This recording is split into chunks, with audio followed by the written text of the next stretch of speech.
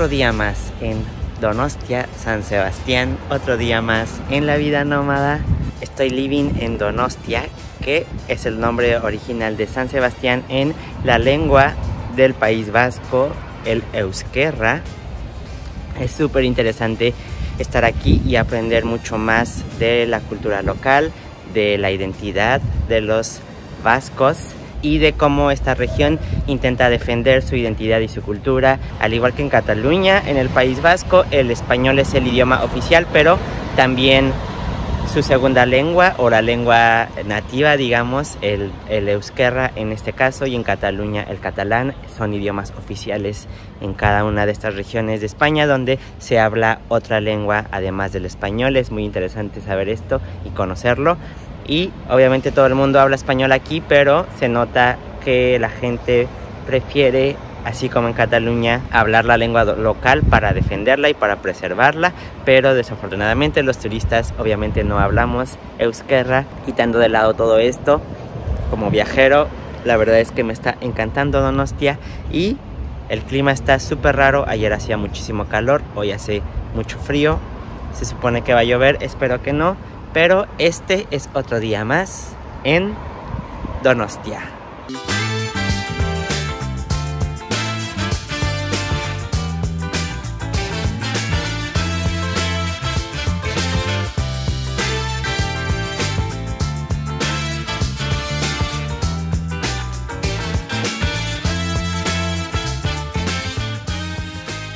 estoy volviendo loco con tanta belleza. Es súper fascinante esta ciudad. Tiene costa, pero no es una ciudad playera. Tiene muchísima cultura. El País Vasco es fascinante.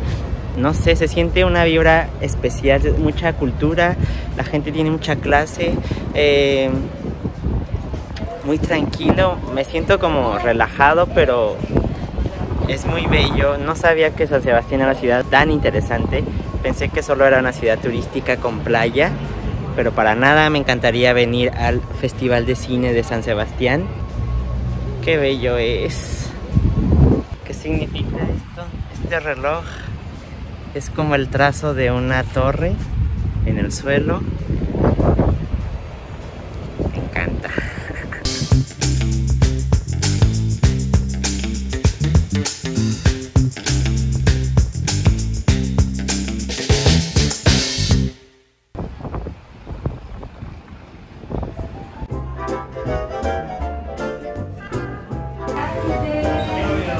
Primera parada se veía delicioso desde fuera. Pedí una empanada de ternera con huevo y creo que pediré otra de pollo con al curry.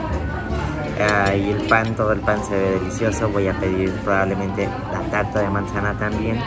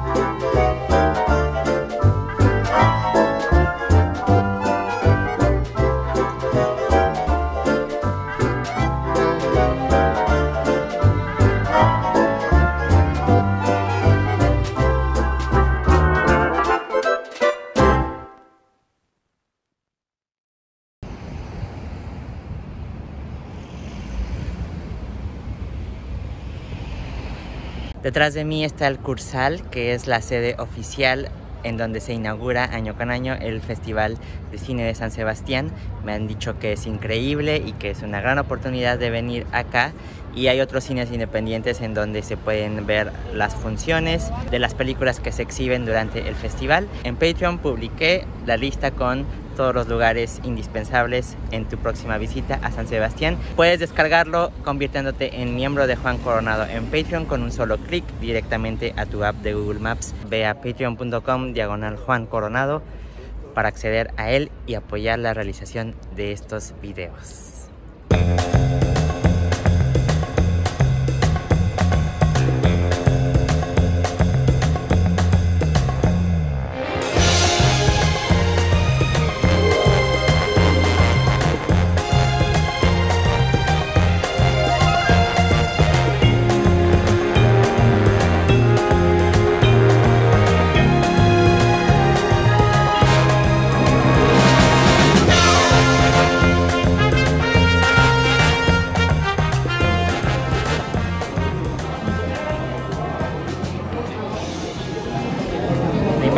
Huevo con carne y un jitomate.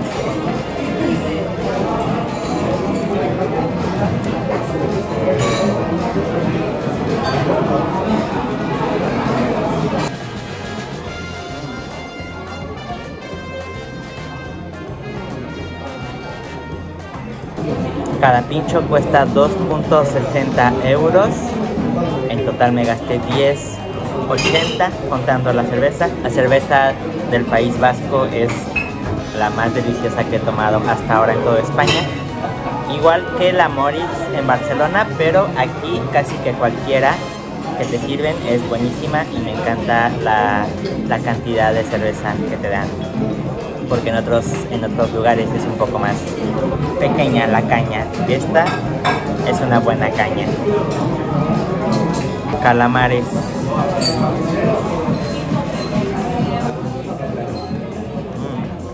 Tengo que hacer esto primero.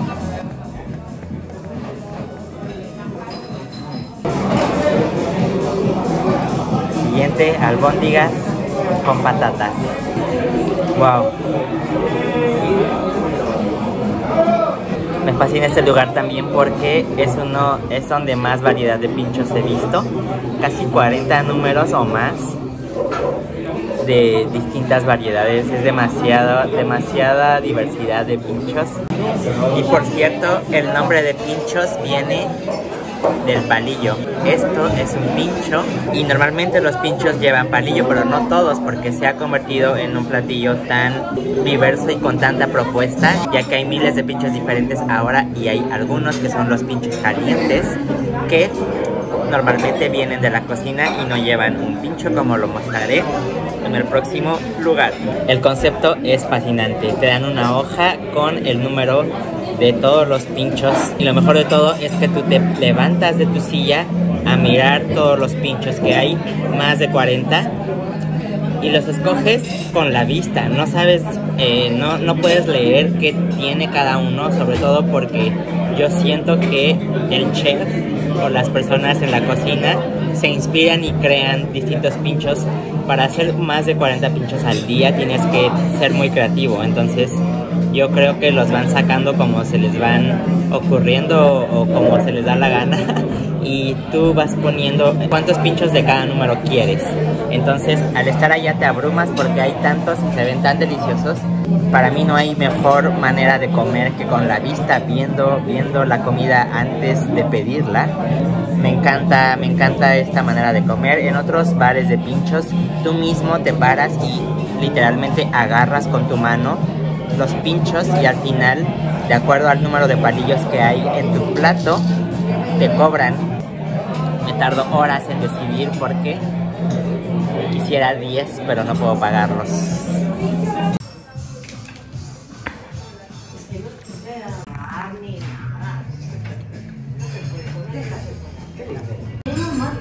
Lo siento. Me estoy acabando mi platillo antes de darme cuenta. Olvidé grabar, pero pondré la foto por aquí. Tengo oficialmente nueva gastronomía favorita y es la del País Vasco. Nunca había comido tan delicioso cuatro noches seguidas sin realmente invertir mucho dinero en comer delicioso. Los pinchos son mi platillo favorito en el mundo, oficialmente lo he dicho. Comer poco de muchas cosas es la mejor decisión que hay, es la mejor manera de comer y lo saben los vascos. Me encanta este lugar. Estoy trabajando, por cierto. Y este lugar lo encontré por accidente, se llama Tabacalera y es un como un centro cultural, un teatro y un cine. Está la filmoteca aquí. Lo encontré por accidente al bajar del autobús y buscar cómo transportarme y esta parte de la ciudad que es cruzando el río se me hace mucho más local, puedo sentir la vibra de los locales mucho más que de la de los turistas y tiene una gran vibra, me gusta mucho. Hay un par de bares que pintan muy divertidos como para salir de fiesta. Aquí cerca están en mi mapa. Me regalaron un poco de vino vasco porque pregunté sobre la sidra que es típica de aquí y hasta ahora no he podido probarla. Ya he visto en algunos lugares que venden sidra y pregunté aquí si tenían, eh, me dijeron que solo vendían botellas grandes, que no podían servirla por copeo, pero que sí podían darme a probar vino vasco y me dieron un poco sin cobrármelo para probarlo.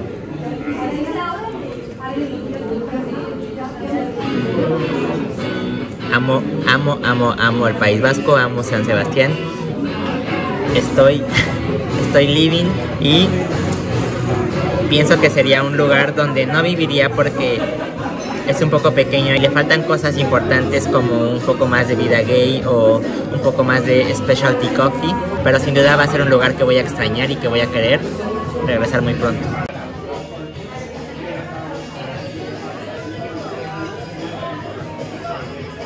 Oreja de cerdo ibérica, pulpo con cremoso de patata que se ve muy parecido al que probé hace rato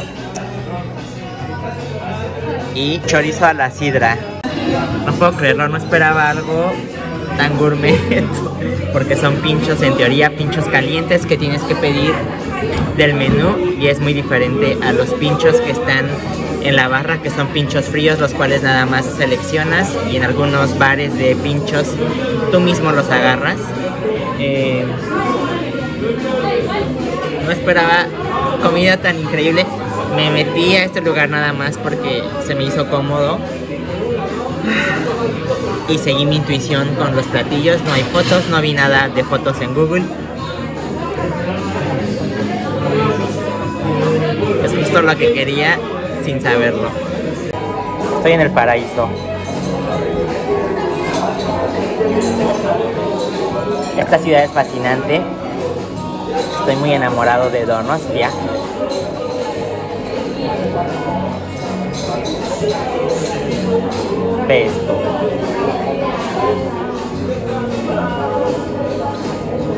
No es exageración, nunca había comido algo tan delicioso, algo tan diferente. Cada día como cosas extremadamente gourmet, deliciosas, con propuesta, con color, con sabor, baratísimas, porque son pinchos, los pinchos son, son iguales en todos lados, pero lo que me gusta tanto es que son tan diferentes en cada lugar y te puedes encontrar con maravillas como esta pagando 2 euros por un pincho caliente. Bueno, este costó 4, 3.90, 3.90, 3.50 y 2.80. Y que sea normal, es lo que me encanta de Europa en general, que la calidad de vida y de cierta manera los lujos de la vida tienen un estándar, no son elitistas, ¿no? El vino es baratísimo, el vino cuesta 2 euros y son cosas de la vida. Comer así es normal en España, en el País Vasco. Y eso es lo que me tiene tan fascinado de todo esto. Qué vida, qué vida. Me encanta San Sebastián. Imagínate comer así diario.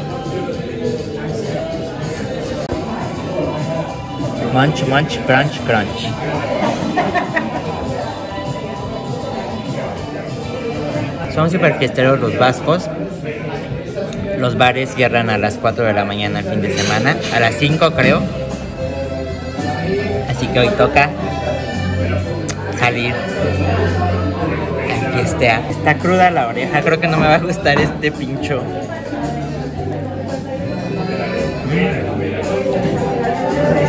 No puedo creer que estoy comiendo.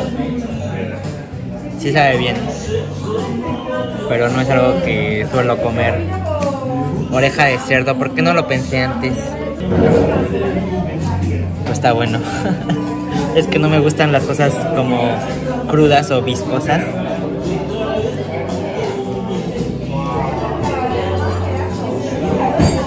Pues sabe bien, sabe a, a carnitas mexicanas. Pero la parte que no me gusta de las carnitas mexicanas, que justamente es la oreja o la tripa o la cabeza. No, me quedo con este. Este, uno de los mejores platillos que he comido en toda mi vida, inigualable.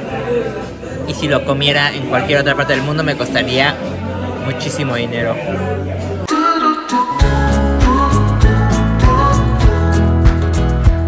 Y para terminar este maravilloso viaje, una sidra típica de Donosti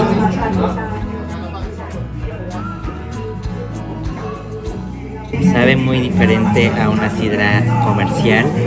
Sabe un poco como el vino natural, nada dulce y muy complejo de sabor. Muy, muy bueno. Según yo cuesta un euro, pero no sé si es mi imaginación. Me refiero a la copa porque me sirvieron muy poquito.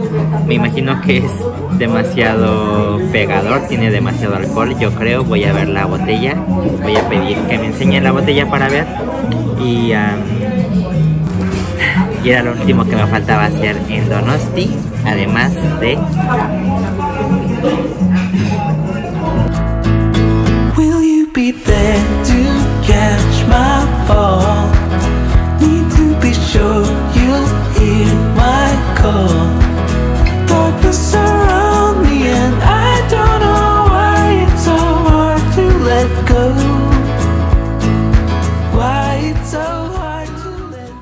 Ahora te invito a que veas otro de mis travel vlogs dando clic al thumbnail que se encuentra en esta parte de la pantalla. Y también te invito a que te conviertas en miembro de mi canal para que seas parte de la comunidad de Juan Coronado y obtengas contenido extra como recomendaciones personales hechas por mí para que puedas ser un mejor viajero y puedas tener más éxito viajando con poco presupuesto, yendo a cafeterías increíbles, siendo minimalista o cualquiera de las cosas de las que constantemente hablo en mi canal. Ve al link que se encuentra en la descripción de este video, patreon.com diagonal Juan Coronado y gracias, nos vemos hasta la próxima.